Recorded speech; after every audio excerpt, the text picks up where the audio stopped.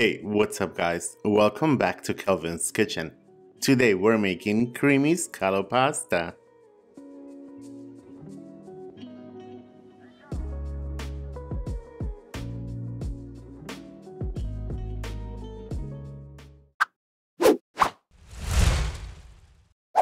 To begin, in a large pot of hot boiling water, add in 2 tablespoons of olive oil, the olive oil will prevent the pasta from sticking together.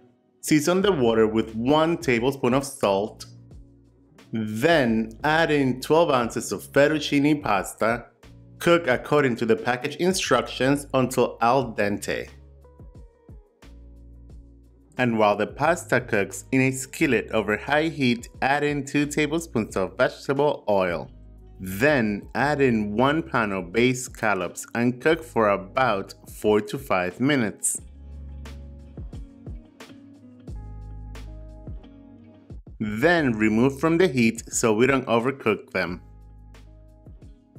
Now reduce the heat to medium and add in half a medium sized onion diced. Saute the onion until it becomes translucent then add in 6 cloves of garlic minced, followed by 2 tablespoons of butter, the zest of 1 lemon, half a teaspoon of red pepper flakes, give that a quick toss, add in 1 third of a cup of white wine, reduce the wine to about half and deglaze the bottom of the pan as you do so. Then add in 1 cup of heavy cream. Go ahead and incorporate the cream with the sauce. Now transfer the pasta to the skillet and mix with the sauce.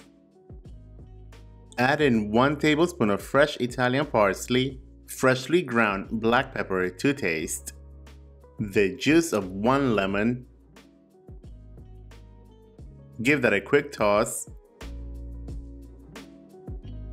Then bring the bay scallops back into the skillet. Toss to incorporate the scallops in.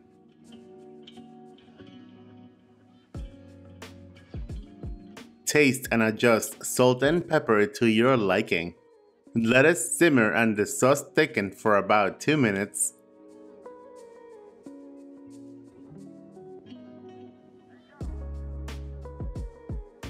And to finish it off, freshly grated Parmigiano Reggiano to taste.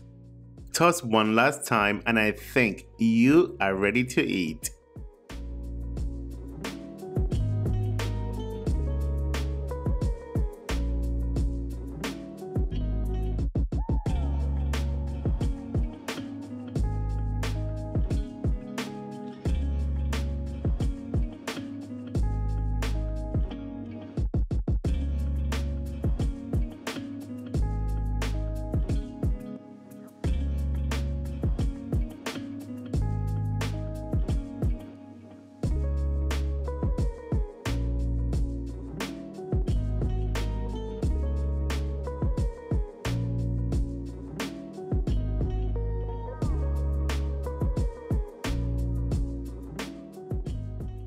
There you guys have it, creamy scallop pasta. Enjoy, buen provecho, and thanks for watching.